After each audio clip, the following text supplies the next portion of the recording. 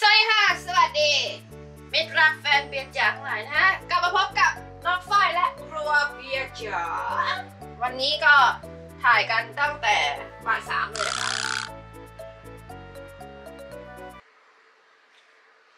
อะสำหรับเมนูนี้นะคะที่เราจะมาทำกันเนี่ย บอกได้เลยว่าโคตรดี เมนูในวันนี้นะคะ มีชื่อภาษาไทยเรียกได้ง่าย ๆ ว่านั่นก็คือหอยนางรมอบซอสมิโซะ mayo ค่ะ ครัวเบียร์จ๋าตอน หอยนางรมอบซอสมิโซะมายองเนส เรามาดูกันค่ะว่า วัตถุดิบในวันนี้มีอะไรบ้าง และแน่นอนก็คือมันหาง่ายมากๆค่ะ เริ่มกันที่อย่างแรกค่ะ หอยนางรมเราเลือกใช้หอยนางรมที่ขายเป็นกระปุกกระปุกนะคะ เพราะว่าจะได้หากันได้ง่าย ๆ ไม่จำเป็นจะต้องแบบไปซื้อเป็นแบบแกะตัวก็ได้ เพราะว่านั้นมันแพงอะมันตัวละแบบสามเก้าบาทสามสิบ สี่สิบห้าสิบหกสิบเจ็ดสิบแปดสิบเก้าสิบแล้วแต่เลทขนาดตัว อันนี้เราใช้เป็นกระปุกแหละง่ายดีกระปุกละ50บาท อันดับต่อมา นั่นก็คือมิโซะค่ะทำตัวซอส อันนี้ซื้อมาแล้วเรามาใส่กล่องไว้ มาโยค่ะ มายองเนสแล้วก็มีเห็ดค่ะ เห็ดเราจะใช้อันนี้เป็นเห็ดชิเมจิสีน้ำตาลนะคะจริงๆคือใช้เห็ดอะไรก็ได้ เพียงแต่อยากใช้เห็ดที่มันมีกลิ่นอะรู้สึกว่ามันไม่ค่อยเข้าเท่าไหร่อย่างเช่น เห็ดหอมอันนั้นอะกลิ่นแรงเกินไป แล้วเราก็เลือกใช้เอ่อเห็ดเข็มทองค่ะ เพราะว่ามันค่อนข้างที่จะเป็นเห็ดที่ดูดซับน้ำซอสได้ดีมากๆ แล้วมันก็เมนูนี้เนี่ยมันเด่นตรงที่ซอสค่ะ แล้วก็มีขิง และกระเทียมนะคะ ต้นหอมไทยค่ะ เอามาแต่ใบเดี๋ยวเราจะเอาไว้หั่นโรยหน้าตอน ก่อนเสิร์ฟ แล้วก็มีสาเกค่ะ และที่สำคัญก็คือฟอยล์และที่สำคัญอีกอย่างหนึงก็คือเตาอบค่ะ เตาติ้งอะโอเค เริ่มกันที่ล้างหอยก่อน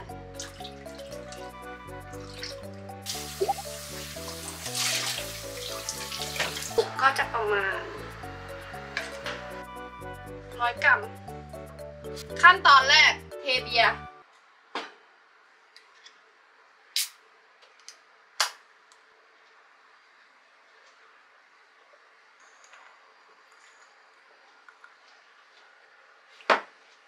อย่างแรกที่เราจะทำนะคะนั่นก็คือ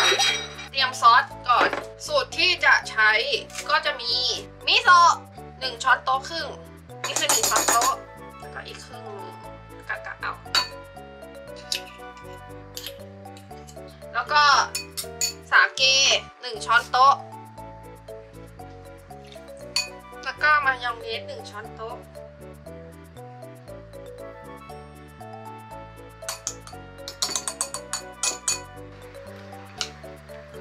ก่อนประมาณนึงแต่ยังไม่หมดนะคะ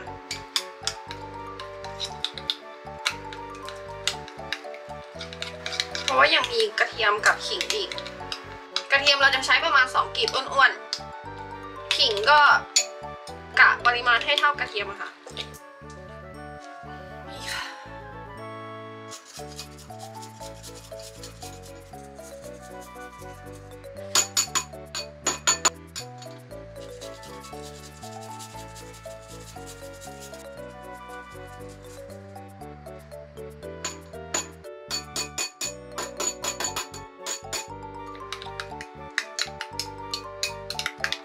เหลือขิงค่ะ ขิงก็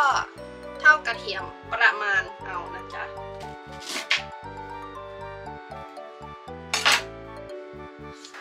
นี่ค่ะ นี่เยอะไปเนาะ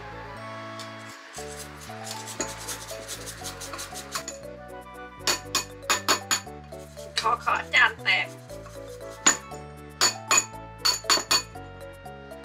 พอแล้ว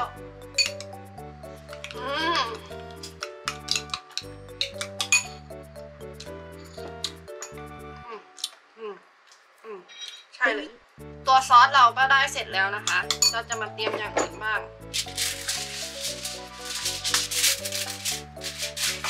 เราจะทำให้มันเป็นทรงก่อนนะคะ แล้วก็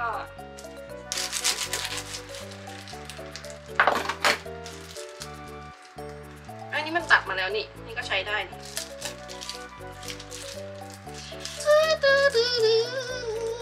เห็ดเข็มทอง อร่อยมาก ๆ วางไปรองพื้นอะเห็ดมากเห็ดน้อยก็นิดหน่อย ระวังมันจืด อันนี้เราใส่เพื่อเป็นสีสันเล็กน้อยนะคะ นี่ก็จะได้ประมาณนี้ค่ะ แล้วก็เรียงหอย จริงๆก็ไม่ต้องถึงขั้นเรียงอะไรขนาดนั้นหรอกนะก็ปกๆลงมาเพราะว่า มันตัวเล็กตัวน้อยอะ ปนๆกันมา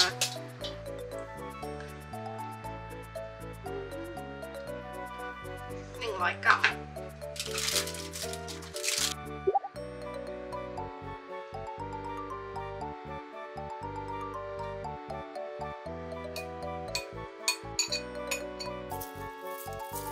แล้วเราต้องปิดทับอีกทีนึงแล้วก็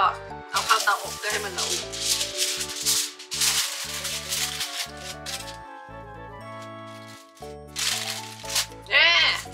ไป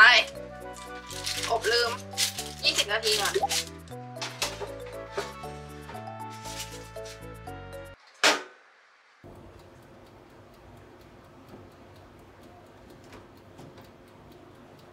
เสร็จแล้วค่ะ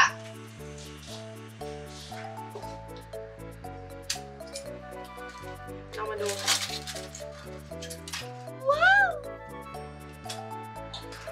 สุกแล้วแน่นอน พอแล้ว แล้วก็หั่นซอยหอมโรยหน้า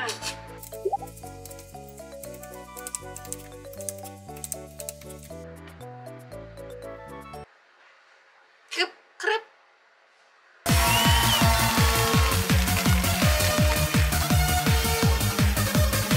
โอเคเราจะมาลองชิมกันค่ะ หลังจากที่เราอบไป 20 นาที ปิดเครื่องดื่มก่อน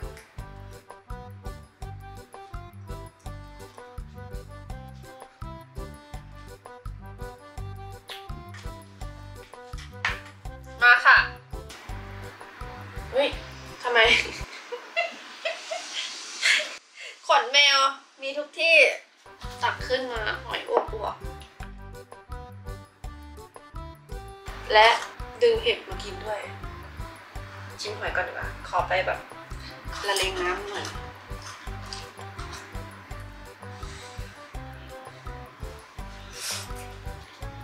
อืมอืม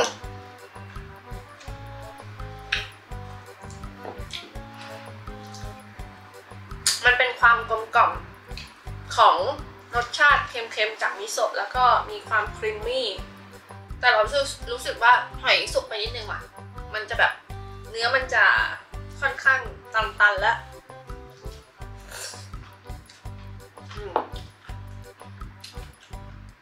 เห็ดก็อร่อยเหอะเห็ดโคตรดูดน้ำเลย นี่ค่ะ ขออนุญาตกินหอย อืมอืมอืม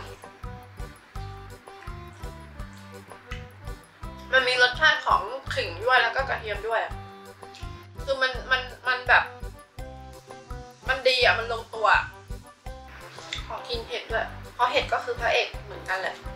ว่ามันจะดูดน้ำได้ดี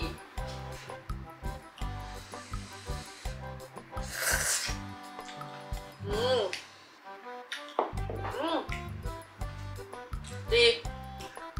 เมนูนี้ควรรีบกินให้ตอนร้อนๆนะคะแล้วให้มันหมดหมดไป เพราะมันลงตัวทุกอย่างเลย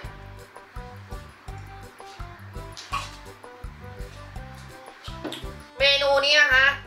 ถ้าเกิดหาหอยไม่ได้ ค่ซื้อเห็ดมาทำแล้วก็ทำเป็นน้ำซอสราดแบบนี้แล้วไปอบอะ่ะ ก็ดีงามมากแล้ว แล้วก็คิดว่าถ้าเกิดกินไปประมาณหนึ่งแล้วมันยังเหลือน้ำอยู่อะสามารถเอาแบบเส้นอุด้งอะไรมาใส่ได้เลยอะ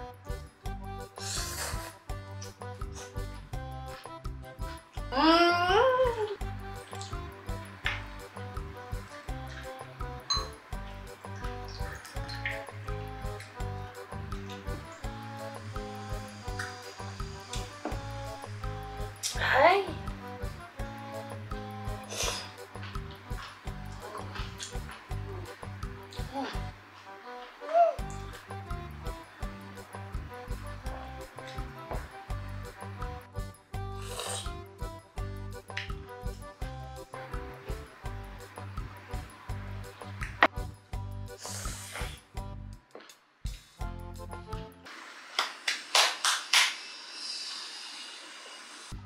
นูนี้นะคะ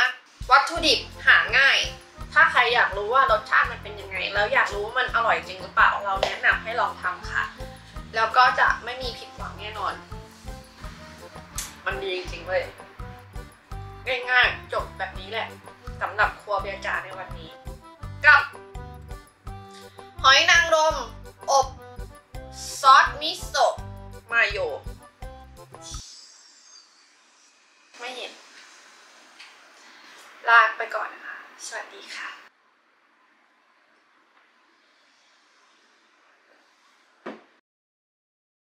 ครอบครัวตัวจอนี้นะคะ ขอเสนอตอนจุ้มจิ้มจอมแจมสงบศึกชั่วคราวโอ้ยหิว กินดิน่ารักจังเลยคนที่กินเร็วสุดคือ ตัวนี้ ไอ้จอมเดี๋ยวดูนะเดี๋ยวดูมันนะสำหรับใครที่ยังไม่ได้กด subscribe เบียร์จ๋านะคะแนะนำว่าให้กด subscribe เพื่อที่จะไม่พลาดอัปเดตคลิปใหม่ ๆ ของเราค่ะ จุ่มแม่งกินแล้วเธอจังวะจุ่มมันหกข้างแล้ว เอ้ย ของมึงยังไม่หมดเลยบ้า กินของตัวเองก่อน